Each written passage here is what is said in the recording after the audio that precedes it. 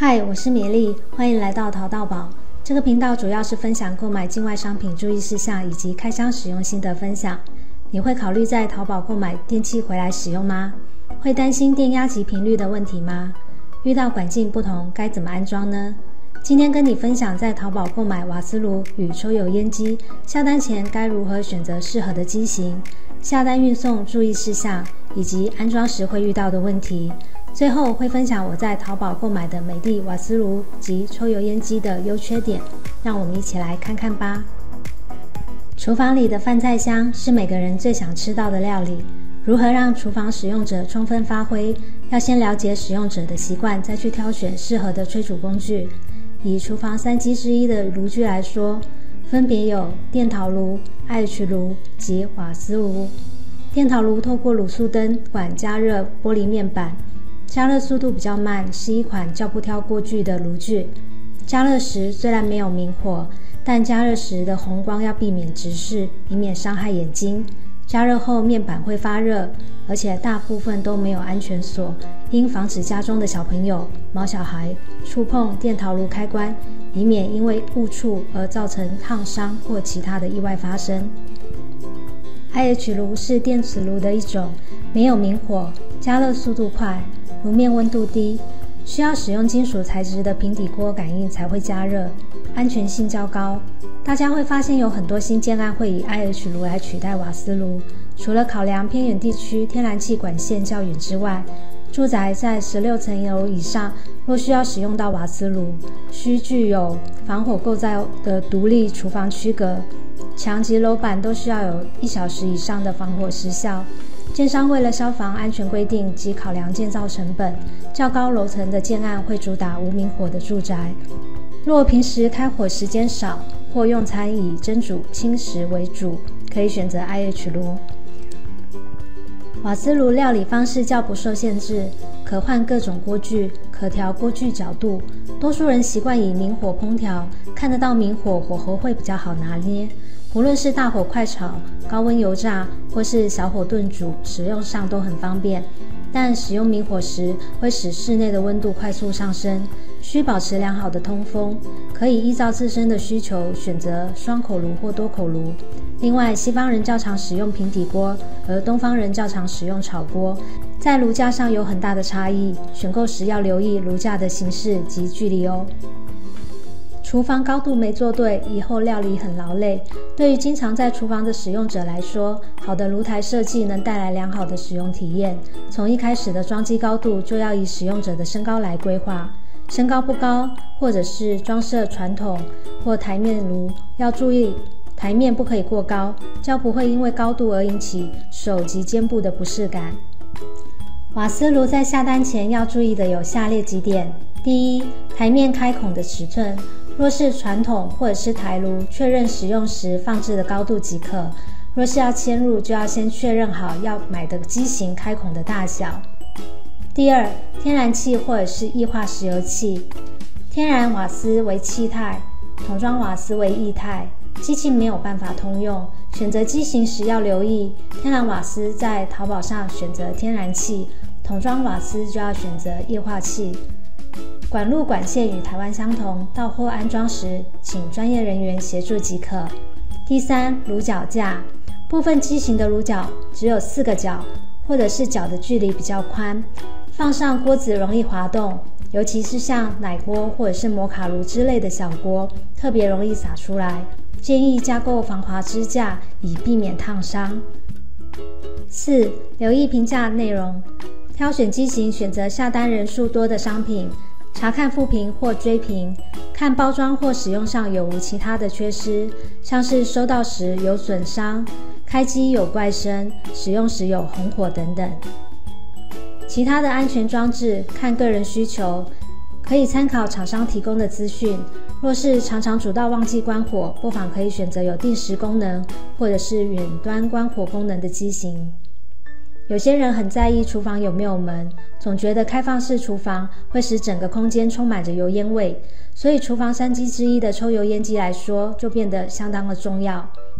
目前抽油烟机大致分成传统式、斜背式、漏斗式、隐藏式及倒梯，还有一些细分为深罩、顶吸、侧吸。部分机型有挥手开关、智能 WiFi、防干烧、熄火自动关闭瓦斯、离锅侦测、油锅过热的保护装置、变频增压、自动调速、一键加热自清洁、瓦斯外泄感应、免换滤网、声扣开机、延时关机，可以依照个人的需求及预算选购适合的机型。抽油烟机在下单前要注意的有下列几点：第一，尺寸，有些机型比较突出，身高不高的人容易撞到头，宽度宽一点的机型拢烟效果会比较好。第二，排烟孔的高度，有些强排型的机型机体比较大也比较高，排烟孔比平常旧机型高出许多。下单前务必确认排烟孔的高度可以装设，以免要重新启动。第三，排烟孔出风口风管的大小，一般排烟孔的孔径大约是十五公分左右，大陆排烟孔直径大约是十八公分左右。若是排烟孔太小，就要先买好转接环，可以搜寻指回阀、指逆阀，同时解决管径不同及油烟逆流或者是强风倒灌的问题。第四，电压，海外家电有很多是两百二，拉好专线，尽量避免使用延长线。第五，留意评价内容，看有无其他缺失，像是吸力不大、油烟乱跑、运转太大声、机器反应慢、油烟逆流等。在购买海外家电，最常遇到的几个问题：第一，要请厂商打木价吗？第二，商品加上国际运费划算吗？第三，送来的时候故障或毁损怎么办？第四，频率不同是不是容易坏掉呢？第一，要请厂商打木价吗？通常知名品牌的销量都不低，可以先参考评价里内容是否有提到包装的部分，可以在差评或追评里面找到这一些资料。大部分厨房家电包装都是机体外面会包着保丽龙，外层以纸箱包装。若是买玻璃面板，会建议加打木架，多一层保护，多一层安心。第二，商品加上国际运费划算吗？进口货物会有关税、进口税、货物税、营业税，有一些商品还需要加办证费、报关费、转版费、超材、抛货、偏远地区加价等等，加上运费。若有预算考量，的确要先计算看看是否本地购买会比较划算。较大或较重的商品，可以先提供长宽高及重量给集运业者确认运费。少数商品进口的费用可能会比商品价格还要高哦。第三，送来的时候故障或毁损怎么办呢？这是每个淘友们最痛的事，尤其是高价的商品，遇到好的店家会帮你补发或补配件，遇到普通的可能就补偿一些金额或请你寄回，遇到差一点的店家会直接表示不是他们的问题，互相推卸责任。购买海外商品确实较没有保障，下单前要有最坏的打算，不放心就加打木架或木箱。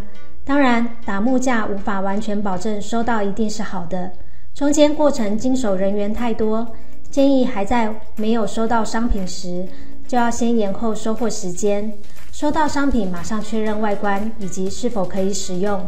若遇到毁损，先拍照加录影，再与卖家客服确认后续的处理方式。若是能补发或者是补配件是最好的，要是要寄回，真的会非常的麻烦。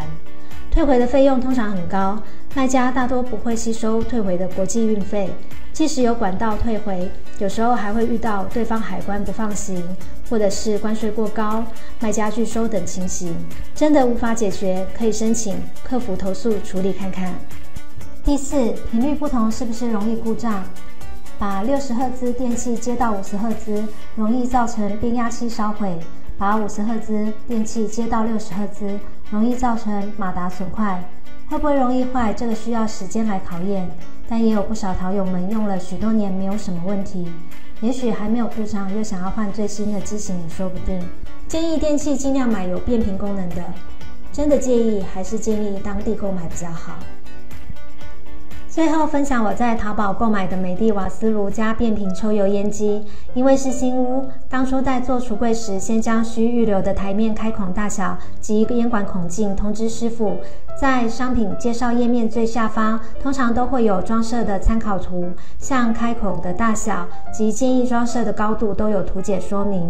当初是因为买洗碗机时一起购买，所以没有特别挑机型。比较方便的是这一款，它有挥手开关机、延时关机、自清洁等功能，吸力很大，所以声音也不小。个人觉得自清洁的功能很方便，只是这台抽油烟机上方的机体比较大，所以在排烟孔也比较高。先前有朋友说冬天风非常的大，常会有油烟或者是灰尘吹落在瓦斯炉上，所以上方有另外加装直逆阀。外部也有防止虫或鸟进入的网子区隔。海外的款式多样，有些抽油烟机可以隐藏，有些是一体成型的集成灶，有些带有暖菜功能，还有瓦斯炉下方带有烤箱。款式太多，让人眼花缭乱。下单前要先考量实用性哦。以上是今天所分享的内容，希望对你有帮助。相关补充说明会放在影片下方说明栏。有其他购物问题，也欢迎留言在 FB 社团里一起讨论。觉得内容不错，记得订阅、按赞、分享，让我更有动力分享更多的好货哦。拜拜。